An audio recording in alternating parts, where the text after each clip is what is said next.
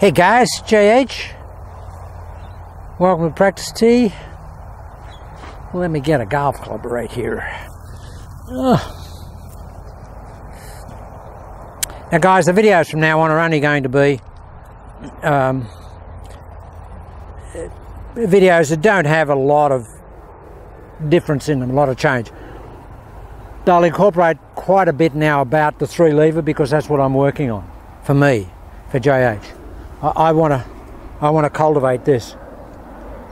I want to try and do that. I've Got anywhere near that yet, but it's feeling good. It's feeling really nice.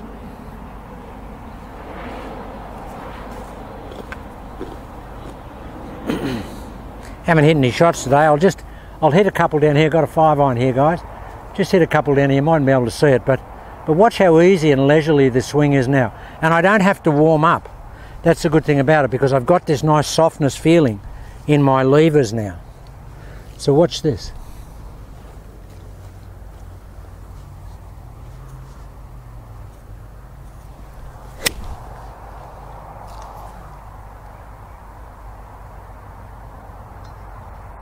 And the wind's not super strong today, it's probably about 25 k's, but it's coming across here and wants to blow the ball left. But it's nowhere near the way, what it has been of late. But see guys, that's a dead cold golf swing. See how easy that is?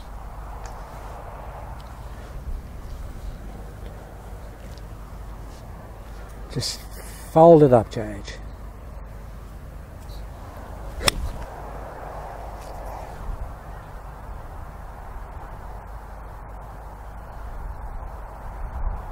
they're just Xerox copies. And that's a good thing with the, with the golf swing now. I can just step up dead cold and do that because the swing's very uncomplicated now. The JH protocol is just set in cement. And the only thing I'm adding to it is the, is the, is that. Just that, guys. Just a bicep curl with both arms. Just sit in your lounge chair at home or something and just get a couple little dumbbells and just do some, just do some little bicep curls and just incorporate a turn with it. There it is. That's what I feel. That's what I'm trying to feel. A couple little bicep curls with a turn. I haven't got anywhere near that, guys, but that's where I'm going. Because just with the amount that I've got at the moment, the uh, the quality of strike is just off the scale. And at my age, to have strike quality better than I've ever had in my entire life is just crazy stuff. Hip one this way.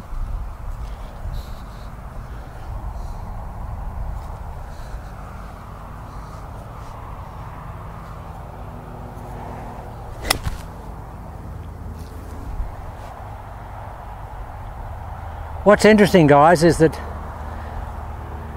I know now why Harry Vardon was, was regarded as the most accurate player in history. And that famous, that famous line where uh, he didn't like 36 hole matches on the one day because he was playing out of his morning divots in the afternoon rounds. He hit the ball in the same place all the time.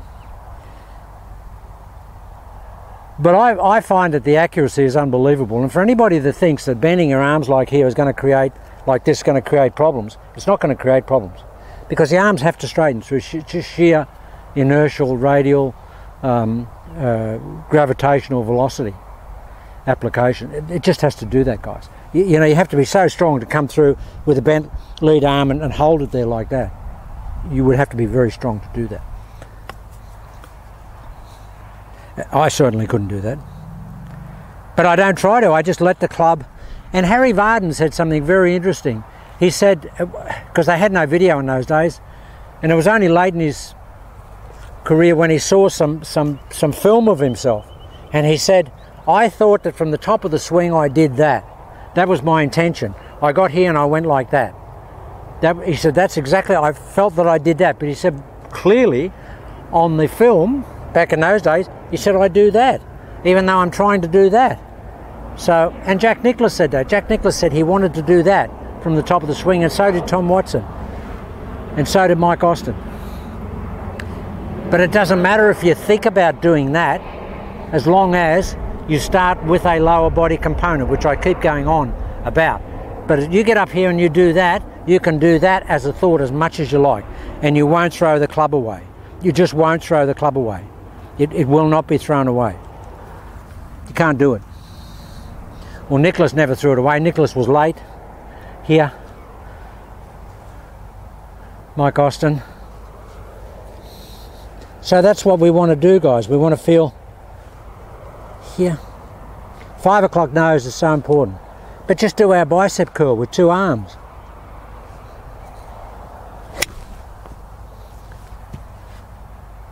And then tricep flex. bicep curl, tricep flex. Biceps, triceps. Anybody of you guys that work out? Bicep, tricep. That's all it is, guys. A bicep curl and a tricep flex. Well, tricep extension is the, is the technical term. That's all it is. I feel bicep, tricep. What could be, if I can get here, ultimately, here, bicep, tricep, bicep, tricep. I'd love to be able to get the club back there. I'm going to try. I'll probably, probably uh, whiff this, guys, but I'm going to try.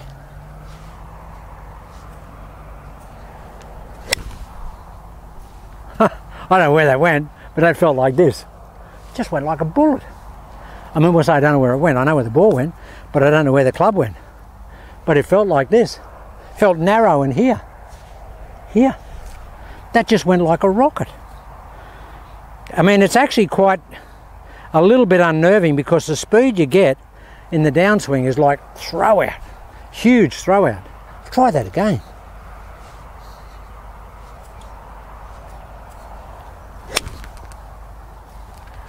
Okay, for the guys that this really annoys, I'm going to say it. That's the best shot that I've ever hit since I've been on three lever. Feels like this. feels like that. That's what it feels like. Feels like two tricep, uh, two two bicep curls with a turn. That's what it feels like. And it's not for everybody, guys. It's what I'm doing. I'm just explaining to you what I'm doing, and the reason I'm doing it. I'm doing it because I want to get more speed. I want to get the club to travel further, and it is travelling further. I'm hitting the ball a lot further. One and a half clubs, sometimes two clubs longer. 20 yards in the air with the driver. Haven't been on any monitors yet to see what the actual numbers are because I don't go on monitors. I mean, I do it deliberately. I know what I, I can tell by ball flight where I am. And I've always taught by ball flight, I've never taught by monitors. So here we go, watch this. Bicep curl.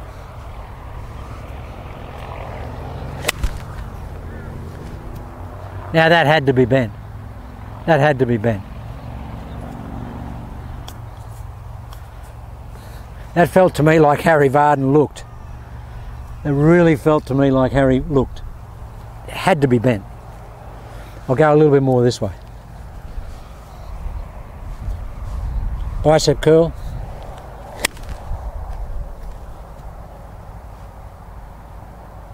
Guys, a five iron tree up here. I've got five iron. Normally I'll just you know, fly it up to that tree.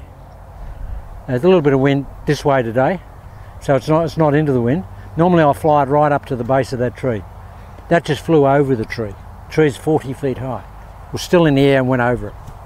And not only did it go over it, went right over the centre of it honestly, guys, with no exaggeration, which JH is a little prone to, but I promise you, this this is this is a revelation. This is a breakthrough of unbelievable proportions for me. Bicep curl. There's another one. Still in there, still in there, still in there, still in there, still in there, still in there. Now,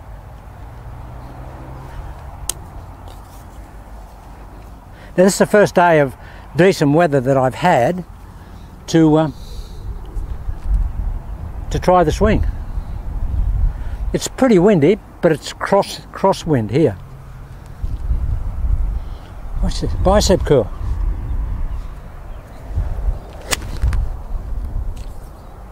It's just flying that tree. If that had a GoPro camera on the ball, it just takes pictures as it goes over. Tree's not in play Trees not in play.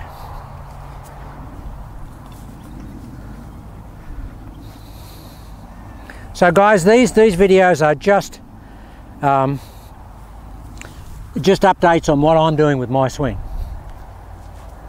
All right, we'll try and take this back. Last shot, I'll really try and bend everything here. Tricep, uh, bicep curl.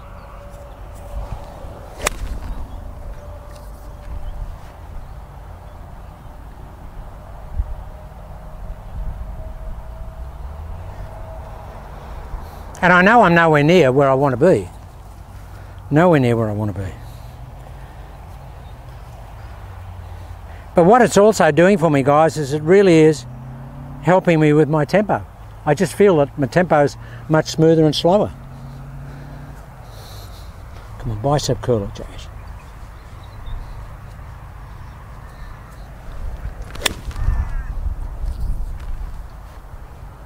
Now, when I work out, when I work out my timing, I still haven't got the timing yet because I get up there and think, wow, there's no torque in the swing, how am I going to get it down? But once I get that, uh, which will take a couple of sessions, I'll have a really good action. Okay guys, just a little update on what I'm doing with my golf swing. Uh, but, if you're sitting in the chair watching TV, bicep curl. Bicep curl with a turn. Bicep curl with a turn. Two, yeah, try and bend both arms. Well, we already bend the trail arm in a golf swing anyway, but we don't want to bend it out here. We want to bend it close to us here. And if you do that, guys, if you keep that that position there constant in the backswing, there's no elevation of the golf club. You don't get off plane. You just do that. Here. You don't want to take it out there and then lift it up and then do that. You don't want to do that because that changes the plane. But if I'm here at address and I just do that, I'm on the same plane. That's a good point and something that's a good facet of the golf swing. Okay, guys, have a look at that. Any feedback you need um, from me, just uh, drop a, a post on the channel.